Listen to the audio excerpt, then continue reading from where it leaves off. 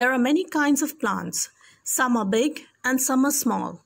But the big plant that you see here is the tree. They have hard and strong stems called the trunk. Some common trees that we see around us are the mango tree, a peepal tree, a banyan tree, a neem tree. Of course, there are many more kinds of trees. And children, you can jot them down in your rough books if you wish to. Another type of plant are the shrubs. They are smaller than trees, but they too have woody stems. These shrubs grow close to the ground as you can see here. This is a rose plant and it is a common example of a shrub. A tulsi plant, as you can see, is another example of a shrub. A hibiscus plant and a tea plant.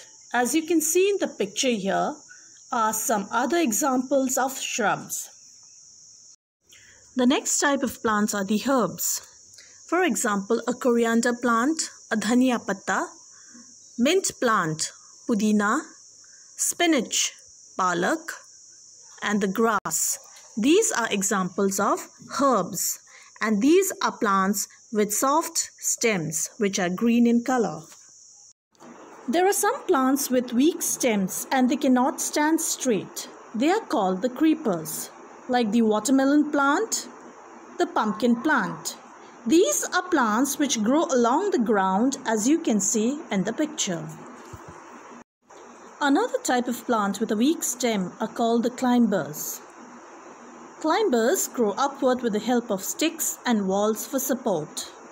A grapevine, as you can see, and a money plant is taking the help of sticks and walls to grow and climb upwards.